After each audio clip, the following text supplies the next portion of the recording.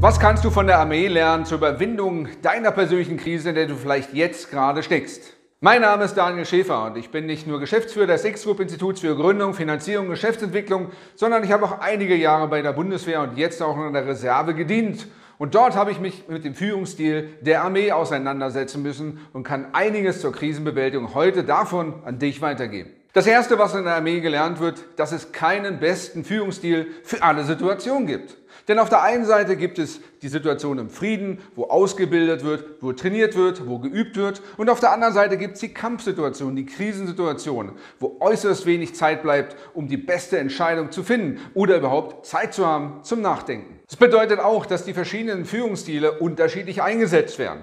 Wenn also genug Zeit ist in der Friedenssituation, da kann man natürlich eine Gruppe mit einem Projekt beauftragen, dann können die sich hinsetzen und beraten und debattieren und demokratisch die beste Lösung entwickeln. Die können dann aber auch gucken, wie du das vormachst und dann können die ganz in Ruhe deinem Vorbild entsprechendes nachmachen. Im Gegensatz aber zur Friedenssituation ist in der Kampfsituation dafür keine Zeit. Wenn du beschossen wirst vom Feind, wenn eine tatsächliche Krise da ist und dein Leben in Gefahr ist, dann kannst du nicht sagen, wir müssen uns mal kurz konspirativ zusammensetzen und debattieren, ob wir angreifen, ob wir ausweichen, ob wir mit Kleinkaliber oder mit Großkaliber zurückschießen oder überhaupt zurückschießen. Dafür ist keine Zeit, denn jede Sekunde entscheidet dort über Menschenleben, über Ressourcen. Und deshalb muss die Führungskraft dann auch sofort entscheiden. Sie muss dann direktiv Anweisungen geben und jeder im Team muss dann zusammenarbeiten mit dem Gehirn, wie auch deine Hand und der Fuß zusammenarbeitet mit dem Gehirn im Körper. Und wenn diese Gefahrensituation vorüber ist, dann wechselt der Offizier, der Unteroffizier wieder zurück in den delegativen Führungsstil oder führen durch Vorbild, also ganz entspannt. Sicherlich wirst du in Situationen kommen, wo du dir unsicher bist, ob du, wenn du jetzt schnell entscheidest, auch richtig entscheidest. Und hier gilt das Prinzip, wenn du dich nicht entscheidest, ist es auch eine Entscheidung, meistens zu dem Nachteil aller Beteiligten.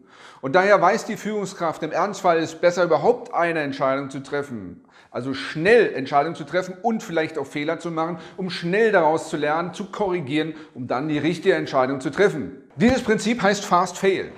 Also, du bist in einer Gefahrensituation, Hol dir so schnell wie möglich alle Informationen, die du brauchst, um eine Entscheidung zu treffen. Und wenn du das Gefühl hast, dass die Entscheidung nicht richtig ist, dann überleg nicht stundenlang, wochenlang, monatelang, jahrelang, sondern triff eine Entscheidung, die du überschauen kannst und lerne daraus, wenn sie fehlerhaft war, um dann sofort die zweite Entscheidung hinterherzusetzen, die dann richtig ist. Daher ist es auch nicht so, dass die Großen die Kleinen schlagen, sprich, dass die größten Tiere mal die süßesten Früchte bekommen, die großen Konzerne die meisten Fördermittel und dass es denen deshalb besser geht.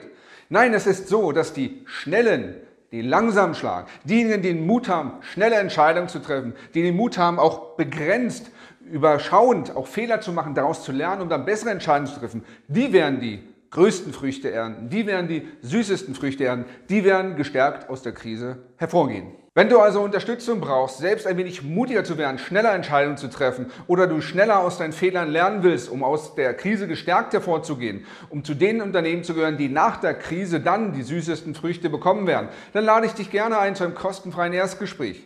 Dann kannst du ab dem 1.4. dir ein Geschenk über 4000 Euro zugänglich machen, damit du uns als Experten auch bezahlen kannst. Die BAFA gibt vom 1.4. bis zum 31.12. dir einmalig 4000 Euro Zuschuss, damit du dir auch Berater an die Seite holen kannst. Aber auch wenn du nicht direkt von der Corona-Krise betroffen bist, gibt es weitere Beratungsförderprogramme, dass du immer 50 bis 90 Prozent in der Krise bekommst als Zuschuss geschenkt, damit du dir Expertenhilfe an die Seite holen kannst. Gerne kannst du jetzt also Gebrauch machen vom kostenfreien Erstgespräch. Ruf einfach an unter 030 683 282 600 und bewerte dieses Video mit Daumen hoch. Abonniere den Kanal und empfehle uns gerne weiter, damit du zu den Schnellen gehörst, die die langsam übertrumpfen, damit du mutiger wirst, Entscheidungen triffst, schneller lernst und besser wirst als deine Mitbewerber. Und das wünsche ich dir, dein Daniel Schäfer. Vielen Dank, dass du unser Video zu Ende geschaut hast und gerne kannst du unseren Gutschein nutzen für ein kostenfreies Erstgespräch. Den Termin kannst du vereinbaren, entweder über unsere Webseite oder über unsere Hotline. Dann kannst du auf über 40 Experten von uns zurückgreifen, die bundesweit beraten und weil wir zertifiziert sind, kriegst du die Beratung auch noch bezuschusst und zwar von 50 bis 100 Prozent.